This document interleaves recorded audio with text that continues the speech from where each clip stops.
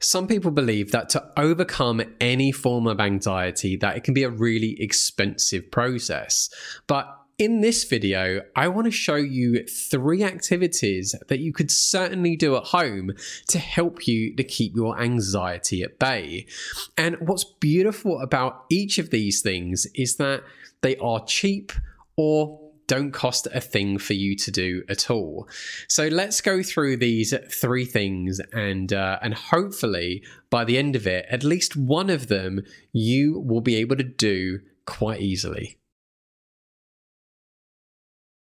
So the first exercise is meditation. Now, I'm not going to sit here with my eyes closed as I'm explaining this, but just sitting and allowing your brain to process whatever thoughts or problems that it's got can be a great way for you to overcome your anxiety or certainly just to calm it down on a daily basis. And what's great about this is it's a very simple exercise to do as well. Just sitting wearing very comfortable clothes in an environment that doesn't really have anything distracting going on around you, being able to just close your eyes and take in deep breaths, no more than for about 15 20 minutes. In fact, something that I actually quite like doing is playing some meditation music in the background. I find it kind of adds a level of more uh, more of a hypnotic trance to it and it just makes it even easier for me to go into that meditative state. Now, this one won't be for everyone because sometimes people like to be a little bit more proactive uh, rather than just sitting around and not doing anything for the 15 20 minutes. But this is one that I do recommend that you at least try once just because of the benefits that have been proven, um, especially if you are doing this for weeks or months.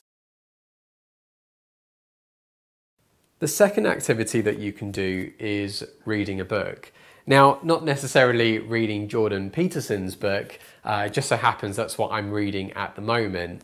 But unlike with doing a meditation, there are going to be men who just don't want to be sitting there in silence and then pondering on their thoughts. Instead, maybe you're someone who wants to be overwriting that inner dialogue that you've got going on in your head. And for those of you wondering what I mean by that, great example if you ever watched the TV show Scrubs and you've got the main character JD who has this inner voice that kind of narrates the story of the show. I think every man or most men have that inner dialogue going on, and in fact, it's what tends to shape the limiting beliefs that they have, where that voice is telling them that they can't do this or they're a failure and so on. Now, by distracting yourself from those inner voices and not necessarily finding that you have to face those voices like in a meditation, reading a book can be a great distraction from that as well. And by reading perhaps maybe no more than about an hour a day, you can keep that inner dialogue at bay as well. Not to purposely rhyme there, but you can distract your brain from even thinking about any sort of thoughts and you can create that level of presence by having to focus on the words and letters that you're reading. So you can read literally anything. It doesn't have to be like a biography. It can be a fiction, non-fiction, whatever. Some of the great stuff that you can do if you really want to be proactive is read stuff of content that you want to learn about. Things that are going to give you more conversational topics with people that you want to talk to. So that's just food for thought for you there. But Ultimately, reading a book can be a great way to also manage your anxiety and also keep those limiting beliefs to a much more minimal level. Activity number three is doing an exercise.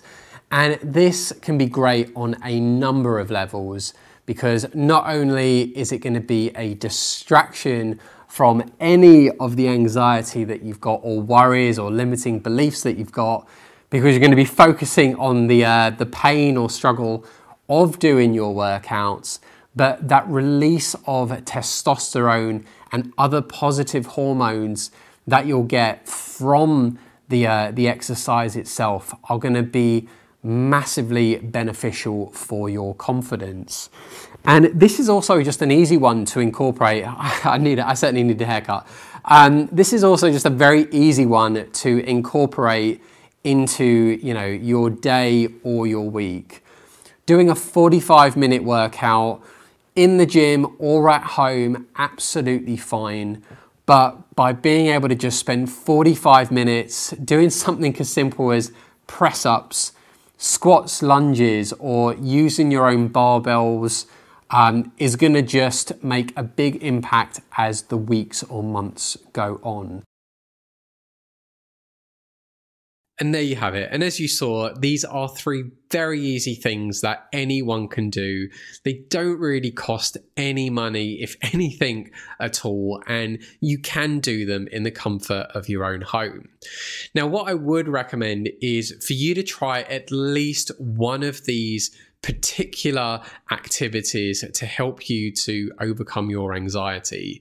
Some people might prefer doing an exercise, some people will prefer, you know, sitting and reading a book if it's going to be a distraction from their anxiety. And yeah, you will have people that would rather face the anxieties and try and learn to let them go.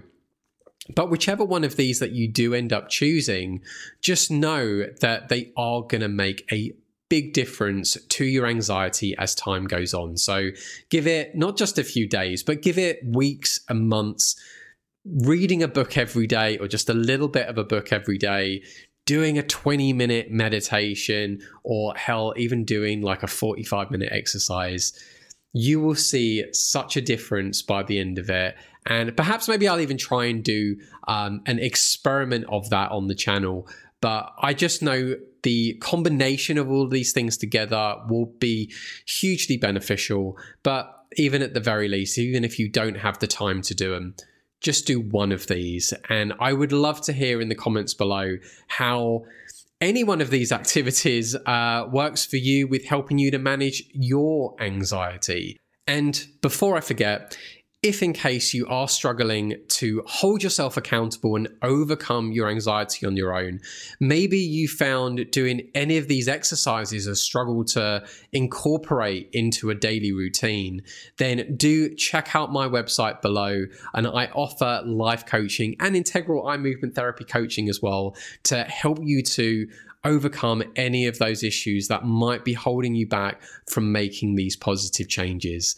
But until then, thank you so much for watching and look forward to more content that's going to help you with your anxiety.